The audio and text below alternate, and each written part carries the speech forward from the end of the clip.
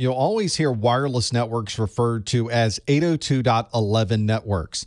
That number comes from the Institute of Electrical and Electronics Engineers, or the IEEE, and it's associated with the IEEE Standards Committee 802, and they created the 802.11 to determine what standards should be used for wireless networking. There have been many updates to wireless networks over time. In this video, we're going to focus on the major releases of 802.11 networks, which are 802.11a, b, g, n, and ac. 802.11a operates in the 5 gigahertz frequency ranges and it has a maximum theoretical throughput of 54 megabits per second. The distance that you could communicate with 802.11a is a little bit smaller than what you would find in the 802.11b standard. That's because the 5 gigahertz frequency range tends to be absorbed by other objects instead of bouncing off of them like it does in the 2.4 gigahertz range used with 802.11b. You'll see that many people calculate the range of 802.11a as being about a third of the range that you would see with 802.11b or 802.11g, which are running at 2.4 gigahertz. We don't generally see 802.11a being used any longer. When it was in use, it was generally in niche environments, which were very open, things like warehouses or large areas where you needed to cover a lot of distance and with a relatively high speed wireless network. Released at the same time as 802.11a was the 802.11b standard. This also came out in October of 1999, but instead of running at 5 gigahertz, it ran in the 2.4 gigahertz range. The maximum theoretical throughput of 802.11b is 11 megabits per second, which was much lower than 802.11a, which was 54 megabits per second. But this had a better range than 802.11a. There were less absorption problems when you had frequencies that were at 2.4 gigahertz.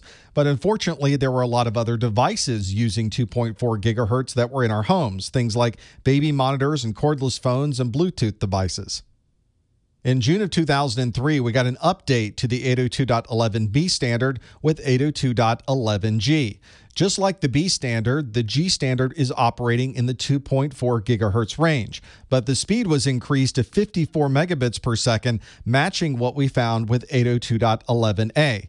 Because this is an update to the B standard, it's backwards compatible with devices that could use 802.11b. But of course, because it was running in the 2.4 gigahertz range, we still had the problem with interference with the other devices that we might have in our homes. 802.11n was a release in October 2009 that effectively updated everything before it. This version operated at both 5 gigahertz and or 2.4 gigahertz depending on what hardware you would purchase. This also increased the speeds up to 600 megabits per second, which were obviously a significant increase over the previous versions. 802.11n was able to get these speeds using something called MIMO. This is multiple input, multiple output, and it could use four separate streams, each stream running at 150 megabits per second to get that total theoretical throughput of 600 megabits per second. 802.11ac was introduced in January of 2014 and it brought a number of improvements over 802.11n.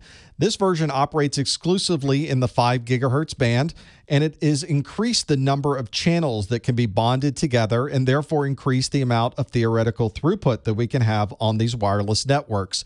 We're also able to have faster data transfers, and when you combine the eight MIMO streams with these updates for the standard, we can have nearly 7 gigabits per second of throughput on an 802.11 AC network.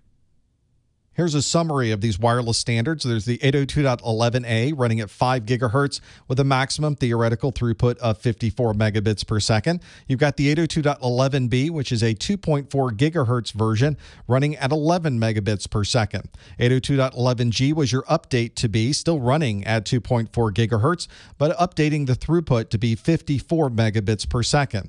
802.11n can use 5 gigahertz, 2.4 gigahertz, or both of those simultaneously. We We can have up to four streams at 150 megabits per second for a total of 600 megabits of throughput. And the 802.11 AC standards is a 5 gigahertz standard with eight streams running at 866.7 megabits per second, giving us a total maximum theoretical throughput of nearly 7 gigabits per second.